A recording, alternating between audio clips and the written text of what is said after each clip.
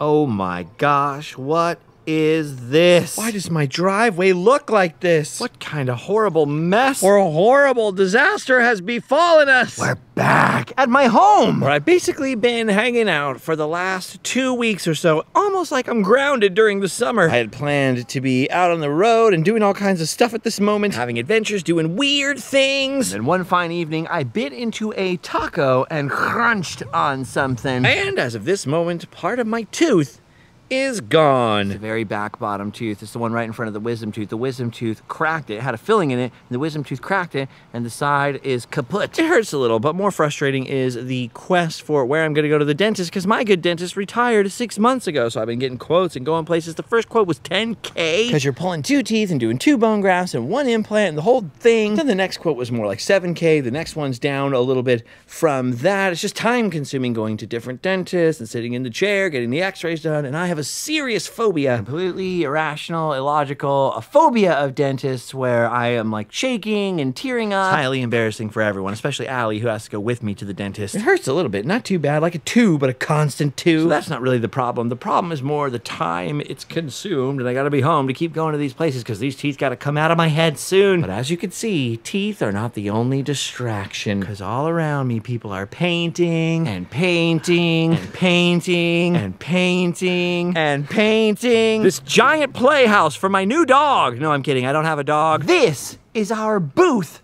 for the big Midsummer Scream convention coming up next weekend. I didn't want to do it. Tyler was skeptical that we could even pull it off. So I was like, all right, we're just going to skip this year. And then the girls got together and outvoted us. And turned Tyler against me, although he said, well, I can't do it unless Chris says he can help me build it. And then our friend Handsome Chris came to the rescue, pretty much single-handedly built this structure with a little help from Tyler and Allie doing some sanding and such like while I was gone on that last road trip. By the time I was home, the structure was all here. And we're like, oh, all we have to do is paint now. It'll be easy. We'll get together on the weekends or whatever. And we're still painting weeks and weeks later. Turned out to be a lot more time consuming than any of us counted on, but at least we're together out here, sweating in the summer heat wave, sunshine. Look at Allie's got a fan right here. It's her biggest fan. I kept thinking, cool, cool, we'll work on this a little bit, we'll get it done, and then I'll hit the road, and then I'll, you know, go for a little while before Midsummer Scream. But as you can see, we're still working on it, and now we're down it to the wire because our load in is just in three or four days. That's why we got handsome Chris out here of a Saturday. We got Tyler, we got Alex, we got Allie, Steph's out there somewhere. Painting prompts and decor and benches and walls. And this is our booth for Midsummer Scream, the Randomland booth. I know what you're thinking. Is it a haunted house?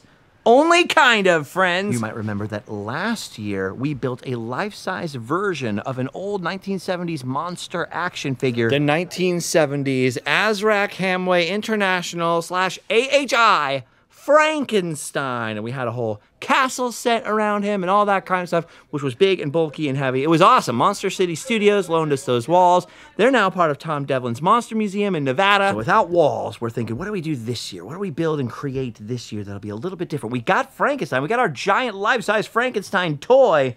You know what Frankenstein needs? Frankenstein needs a playset. Now, what if Azrak Hamway International had built in the 1970s a playset to go along with that Frankenstein action figure? It would have been inexpensive. It would have been kind of cheaply constructed. It would have almost certainly been a vinyl playset like this, where the walls are made of vinyl sides that get warped and kind of weird. It's kind of cartoony, just like Pee Wee's Playhouse here from the 80s, which might be the last great vinyl playset ever made. See how it's all printed cardboard and just little vinyl sides to protect it from moisture. So if our Frankenstein action figure had a vinyl playset, what would it look like? Well, we imagined it might look something like this. So we're still painting it. We're working on it right now. Alex is painting the bookshelf. This will be the little pass-through window where I will sit and chat with all the folks that come to Midsummer Scream. Just don't go down the scary hallway. It's Spoopy in there, like Spoopy Tyler. Look at this, even Bogey the dog is helping by trying not to complain. He's outside, he's got a little fan on him. He's just chilling out here. Bogey?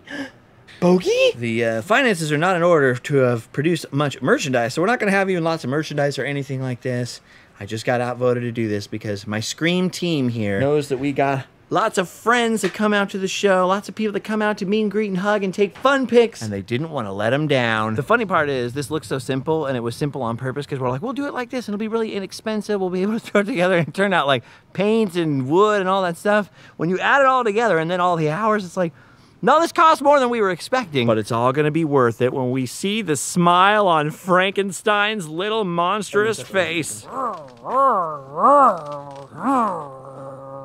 House good. So anyway, that's what's been going on. That's what's absorbed the bulk of my time, and I wouldn't have let it go so long without some kind of video or some kind of update on the channel here, except for the fact that I kept thinking like, yeah, two more days and we'll be done with this, and then I'll be out, we'll be doing something cool. And instead, it looks like we're gonna be working on this straight up until the day of Midsummer Scream. I'm telling you, I have a whole new respect for haunters and people who build this stuff in their driveways. It's a lot harder and more time consuming than you'd think. Anyway, even though I got outvoted and sucked into this project, partially against my will until they were like, come on, think of all the people that come and get the hugs and we're gonna meet and greet and everything. And I was like, okay, yeah, I'll do it. You know, oh, all right, I'm game. I haven't been completely unproductive. I've been varnishing some old tikis that I purchased. These aren't ones that I carved. I've been carving some other stuff. I don't know if anyone would be interested in like a video of like how I built my own little tiki garden or whatever, but Maybe I should do something like that when I'm finished with it. I don't know. I'm working a little bit on that in between this stuff when it gets too hot or whatever. You come in the shade over here. And I've also managed to film a few videos, just not on this channel, over on the other channel, my second channel, where the sometimes vlog now lives. That was my old vlog, like sort of an old runaround, unedited vlog that has been resurrected for 2023 in fits and starts, but it's getting more and more regular. It's over on the second channel, youtube.com slash live fast die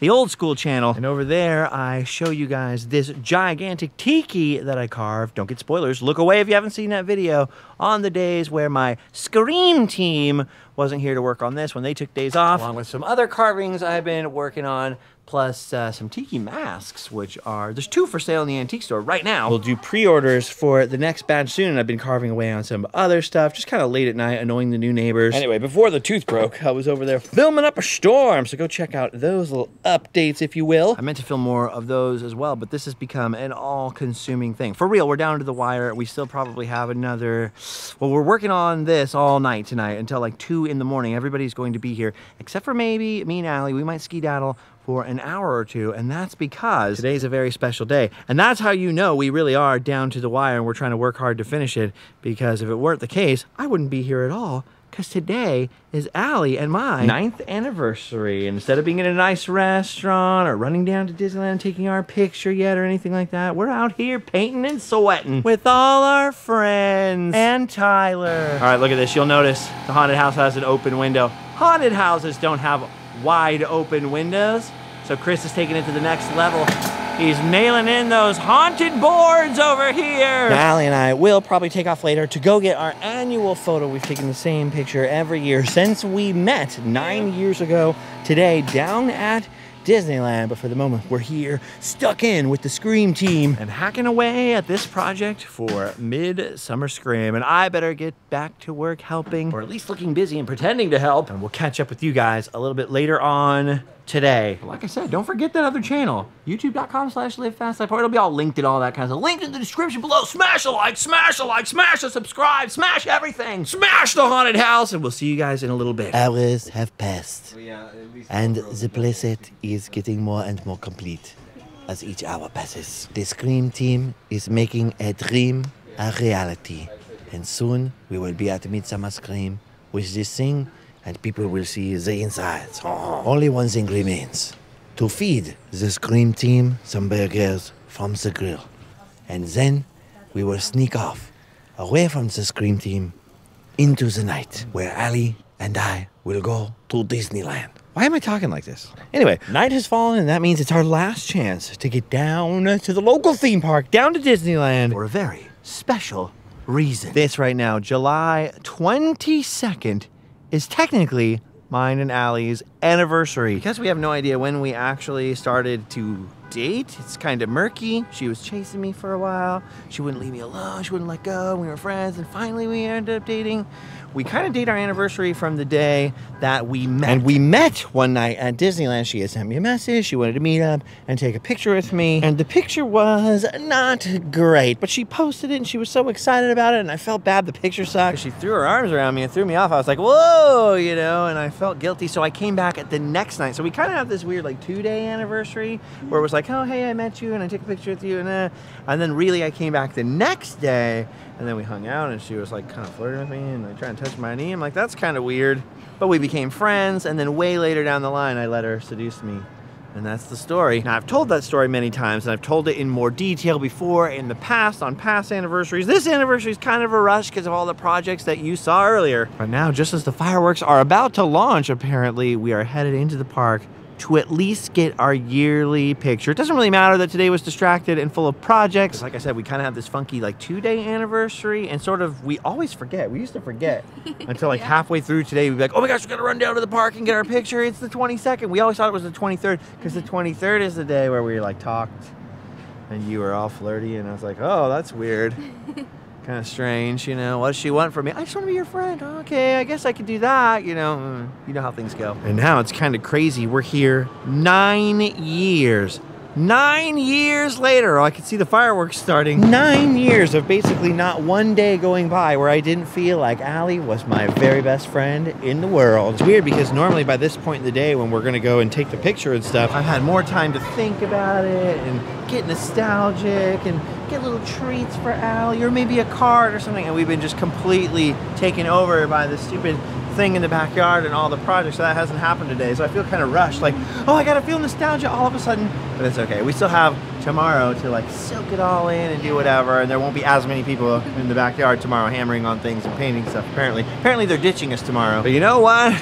Even when you're not feeling the most emotional of all, it's still good to go down and continue the tradition. It's so crazy. Nine years. I mean, I put nine years of pounds on, but otherwise, where's the time gone? And she's lived with me for seven years now. We're still best friends. We still love each other. Still talk to each other every day. We still snuggle. Yeah, that's right, haters. We're still pro level snugglers. So I think after all that time, you know what? It just might stick. It just might stick. Sorry, you're stuck with me now. Stuck with me. Super weird, dude. Super weird that it's been nine years, but it's also really weird that it's been 10 years of Randomland now. 10 years! That's crazy, because if I had never made Randomland, Allie would have never watched it and never would have messaged me and got obsessed with me. And I'm only half joking, huh? What's really weird is it's like 9:30 something right now. The fireworks are just going off, and this is basically around when I was coming into the park. I just came down here because I was like, oh yeah, there was this girl. I said I would take a picture with her. I was supposed to come down with my friend Tyler. We ended up coming, and this is the truth. I was going to cancel on you. I was like, there's no way. I, I can't go just meet some girl. That's awkward without my friend there at least, you know. What if the girl flirts with me or something? That's why I don't do that.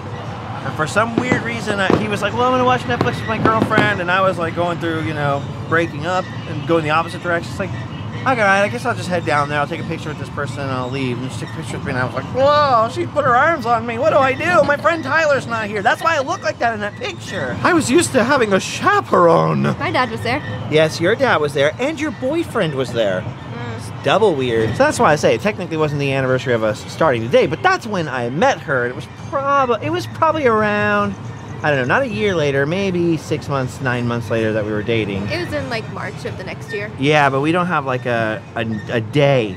That's the problem. So Yeah. to make things clear, we're like, let's just celebrate the day we met because that's the day our lives would change forever. Oh. Anyway, the whole story is in my Instagram highlights, and I'm sure I've told it before, so you can find it there. You can find the more sentimental. Uh, sappy version there, not the quick version while we're running into the park to get our fun pic. Maybe I should have prepared a sappier version with visual aids. We could have milked it for all it's worth. It would have been like the Disneyland version of the Notebook. Nah, but normally I don't even film like around our anniversary. But uh, I just had to do an update because I feel like it's been so long. Like I said, I kept intending to film and I kept thinking I was going to get out and do stuff. And this project kept sucking up more time and more time and more time. So we're updating you. Dog. Good news, I saw a dog today. And if I'm going to update you, I might as well bring you in to some of the magic. It's funny because the last video that I did film down here was at Disneyland and I was talking about how Adventureland was my favorite land. And what's so weird, I was going through the beginning stages of a divorce at that time and I remember walking through Adventureland talking about how it's my favorite land with my friend Tyler. Other Tyler than the one you saw today. Like maybe two weeks before I met Allie and saying, oh, Adventureland's my favorite land. And isn't it weird now that we're doing all this stuff down here at Disneyland? Oh, I'll probably meet the next love of my life here. And I go, ah, nah. Who am I kidding? I'll probably never meet anyone again. What would you know? But like two weeks later, here I am walking through Adventureland trying to find this girl who's trying to find me. And there she came. Out of the darkness to bring light into my life forever. All right, the fireworks appear to be over now. All we have to do is fight our way through the post fireworks crowd over to Adventureland. Yeah, dude, but it is weird and an absolutely true story. The Tyler and I were talking about that, and he was like, "Cheer up, you'll meet someone." I'm like, "Ha, yeah, maybe I'll meet him at Disneyland, right? Wouldn't that just be my luck?" Haha. Sure enough, two weeks later, met a girl who changed my life. You just never know what could happen in Walt Disney's original Magic Kingdom. That's for sure. It's funny because Tyler really wanted to tell that story at our wedding. Like he wanted to do a whole speech, and he wanted to start it with like something like, "I remember the day when my best friend met his best friend," or something like that. He had this emotional speech all planned out, and then we never ended up having the wedding. First because of COVID, then Allie got sick, and she still has to get this insurance that pays for her twenty-four thousand dollars per dose injections every eight weeks. So that's why it's just sort of indefinite. But we like consider ourselves married ever since then, and so we're gonna probably for Christmas buy each other uh, like wedding bands, and just that's the way it is. I call her my wifelet all the time. You know, she she's the one who calls the dentist for me and holds my hand while I'm terrified in there of the tooth people and the whole thing. So, I mean, this is this is my life partner right here. Nine years. That's crazy. I'm old. nine years, and it's going to take us another nine to get to Adventureland. It'll be 18 years by the time we get there. Dude, when I think how hard we've had to work to make a warped, funky, little fun booth for Midsummer Scream it's only, you know, 18 by 9 feet or whatever. And then I look around at Disneyland and all the craftsmanship and maintenance it must take just to keep it looking good, much less to build it. I feel very humbled. This place is a work of art, that's for sure. All right, while everyone else waits to get back into Fantasyland after the fireworks, we are going to sneakily make our way into the land that was always my favorite, even from childhood, but after that night became cemented as my favorite place on earth. Adventureland. Yeah, my family and I came out of the tiki room and I saw your message and then we just waited for you. I'm always trying to get the Allie side of the story. So you guys waited over here for me, and then I told you that I was coming from that way, so then you started walking into Adventureland, right? Um, yeah, a little ways. Yeah, so I guess Allie was coming this way into Adventureland. I was coming from the other way, coming towards uh, this way from Indiana Jones. So we're now like at Allie's POV, right around the area where she saw me. And then I knew who she was because I saw her put her hands over her mouth like, oh my gosh, like all excited to meet me. And then her sister came up and started talking to me first. She gathered herself and basically right over here in front of these two lamps, she came up all swaggery and confident. Hi, I'm Allie. I'm your biggest fan. Da, da, da, we gonna take a fun pic together? Are we gonna take a fun pic? I'm like, sure, we can take a fun pic. And I'm sure I've told this story before, but my fun pic go-to thing at that time was to come into the bazaar and like get fun props like rubber snakes and stuff and take a fun pic. And I was telling her like, oh, grab like a rubber snake, and she just didn't look that impressed with that idea. Yeah, that's not my aesthetic. No, not really. So I was like, oh, okay, well, I guess we could take a picture somewhere else. Yeah, I think you even said, like, can we take a picture somewhere else? And I was like, where else has light? Because it was really dark back then in Adventureland. It was much more dimly lit than it is now, and those torches weren't over there. But at the time, there was this big thing, the entrance to the old Aladdin dinner show. I was over in that area. There was this large, like Arabian Agrabah style archway right here, and it had these hanging lamps inside. Also, remember that this is 2014, so the iPhones weren't uh, what they are now in terms of low light, so you needed some light. And so we got over here inside the archway, just over to the side of this little magic carpet. Uh, mosaic thing here, which they left here handily for us. And then we backed up over here, which was underneath a lamp that was hanging up in the archway at the time. Like your dad was looking at me and your boyfriend was looking at me, who you called your friend awkwardly. And I was like, oh, okay. And I was like, well, we'll just take this picture and try to make conversation, like try not to look like a weirdo. Like I'm just a guy from YouTube. I'm nobody special. And then she threw her arms up around my neck. And I was like, oh no. And that's the, that's the famous picture. Sorry. I'm still sorry. And it's a famous picture that we try to recreate every year, if not on the date, then as close to it as we can. But this is the awkward part every year is that we show up and we just have to kind of stand here until either somebody recognizes me, hey dude, I know your videos or something. And then we go, oh, can you take our picture? Or until we just get bold enough because we waited long enough that both of us are kind of shy about talking to stranger strangers. And we'll go, oh, can you, you guys think you can take a picture of us? It takes a while. So that's what we're that's what we're doing now. We just kind of wait, hang out, try to look casual. Put the random man hat out there. Hope somebody goes, "Hey, are you the guy? Yeah, can you take our picture, please? We're so shy." If we wait long enough, we might get bold and ask a stranger. Maybe Santa over here. Allie always wants it to be a girl because she says girls are better at taking pictures. We might get bold faster this year though, because it's kind of humid out here. It's kind of moist. Wow. And now we play the waiting game.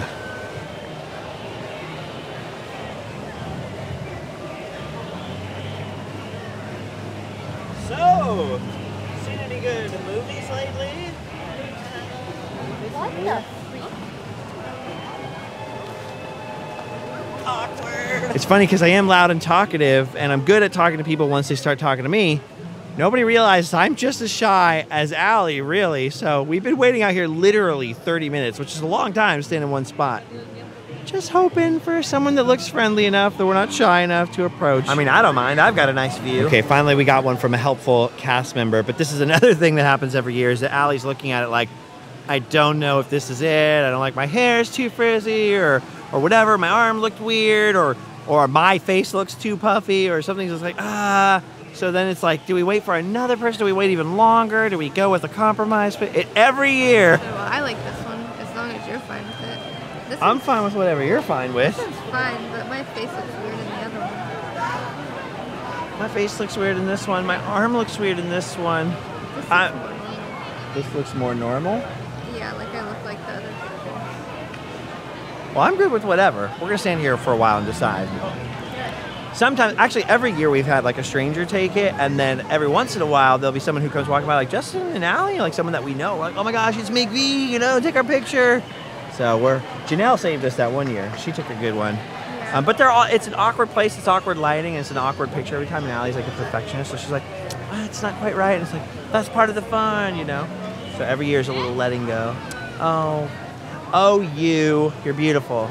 You're more beautiful now than you ever have been, ever. Mm, I love you. Okay, apparently Allie has one she thinks is okay. She was just worried I wouldn't think it's okay because I look like a doofus. But I told her I'm used to looking like a doofus. I look like a doofus every day. I have mirrors. You look good in the picture. Yeah, good for a doofus, but that's what I am. Wait, we were just about to give up, and then Jackson save the day. Yes, Skipper Jackson. I should thank you, Skipper Of course, Jackson. anytime, you guys, Thank anytime, you. anytime. You're a heck of a boatman and a photographer. Thank you so much. I appreciate it. Yes, dude. Finally, we've got the best pic, and here it is. There it is. What a fun one! And look at this, starting in 2014 and going all the way up through now. Every picture the same, except for obviously the COVID year. We did it. Nine years of fun, weird pics. Now I just like, oh, we're in Disneyland. It's after fireworks, so people started to leave. We should go do some fun stuff. And then I just remembered Tyler and Alex are still at our house painting away on the Midsummer Scream thing by themselves. So probably we should wrap things up here and go back. But we'll check. We'll go look at the line for Pirates because that was our ride. The next day, when I met up with her again to retake the picture because I felt bad I ruined her life, like, "Ooh." That- which is when she's like, "Oh, you should have me on Snapchat. It's this new app. I'll talk to you and be your friend or whatever. I won't try to seduce you." No, I said I wanted you to get a Snapchat so I could watch your story from Disneyland. Oh, I see. And did you? And then you added me and started talking to me. Whoa, whoa, whoa. she was this nice person, like, I'll be your friend, you can talk to me. And the next year she's like, I like you. We should hang out together.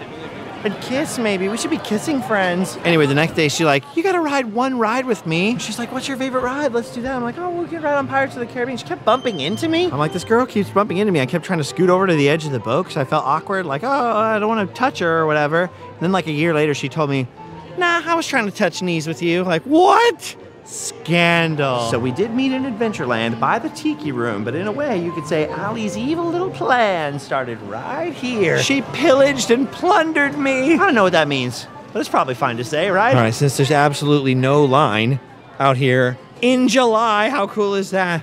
We're gonna do it. Our old school first ride together, and then we got to get back to work. We're gonna be painting till four in the morning, but we'll see ya at Midsummer Scream. So that'll be good. I gotta go in first because that's where I sat before. Allie likes me to sit there so we can touch knees. I love you. You're adorable. Look at you. Cute. Ooh. Yo ho, yo ho, an alley life for me. I love this ride. And Davy Jones waiting for them. What don't obey. No! No! Anyway, maybe it's a strange way to fall in love. That's how it happened. All right, well, it's getting late. So after this romantic ride through the Caribbean on this boat here, a little tunnel of love action, we're gonna head back to the house, continue painting with our buddy Tyler and Alex into the night. I know it wasn't a normal adventure today, but we just wanted to invite you along for a little bit, mostly because we really appreciate you guys sharing parts of our adventure for the last nine years. We really appreciate all of you, and I wanted to let you know what was going on. My mouth's a little sore, but I'm hanging in there. Surgery scheduled pretty soon, and in the meantime, there are more adventures afoot. So I'll see you guys very shortly.